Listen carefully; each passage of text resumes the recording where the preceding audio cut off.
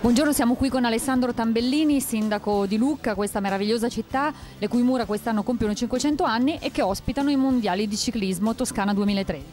500 anni delle mura, appena dopo l'inizio della, della corsa più importante dell'anno in Italia, ma non solo in Italia, nel mondo, anzi forse la manifestazione più importante in assoluto nell'anno sportivo, perché i mondiali di ciclismo sono probabilmente il fatto più rilevante di questa annata sportiva.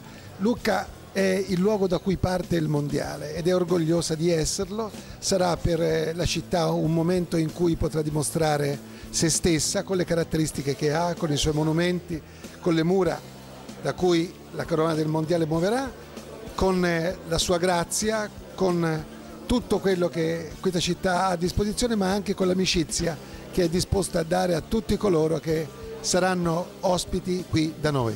Sappiamo di avere un sindaco ciclista.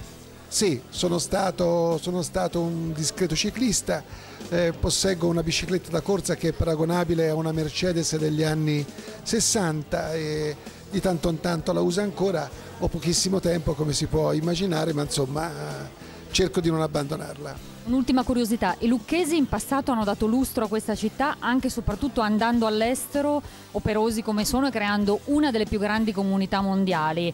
Ora tutto il mondo ritorna a Lucca per vedere i mondiali e per rendere omaggio a questa città. I lucchesi hanno creato molte comunità, tant'è che esiste un'associazione denominata appunto Lucchesi nel mondo e che raccoglie tutte le comunità lucchesi sparse sui cinque continenti. Bene, questa volta è il mondo che viene a Lucca, è il mondo che si ritrova qui da noi e per noi è un momento di grande festa. Quindi invitiamo davvero tutti a venire in questo splendido territorio. Naturalmente, naturalmente è l'occasione per non solo godere del, della città e dei suoi prodotti, ma per, per godere anche dell'atmosfera della nostra città, del modo di vita che qui si svolge, un po' più lento che altrove, un po' più tranquillo, un po' più un po' più in linea con quello che è eh, anche il conforto spirituale. Grazie Sindaco, in bocca al lupo. Grazie.